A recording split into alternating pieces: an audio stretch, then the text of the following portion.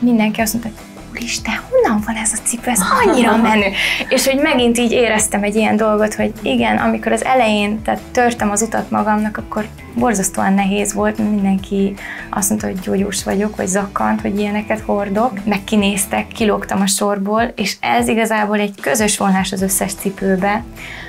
Mindegyik betölt egyfajta funkciót, de egy kicsit csodabogár mindegyik a saját világába, és valahogy így érzem magamat egész életemben, ezzel már nincsen bajom ma már, tehát hogy ma már ezt teljesen nyugodtan tudom kezelni, így vagyok én önmagam, meg teljes. És nagytatám volt az, aki vigyázott rám, meg nővéremre, óvodába, iskolába vitt minket minden, tehát hogy így azt kell, hogy mondjam, hogy akkor én hozzá kötődtem a legjobban, és ezt én még gyerekként is tudatosítottam magamba. És, és, és így na, lehet, hogy furcsa így kimondani, de ennyire szerettem őt, és 12 éves voltam, amikor ő meghalt.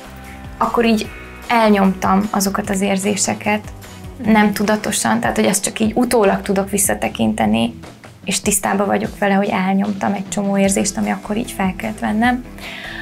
Um, és, és nagyon ritkán adtam teret neki, és ez valószínűleg pszichológiailag hatott rám, mert 13 éves koromra elkezdtem őszülni.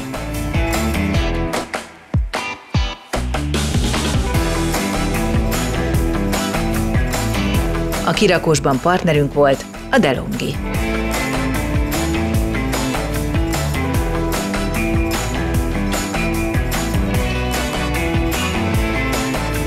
A kirakós és a kiemelkedő női történetek támogatója a Johnny Walker.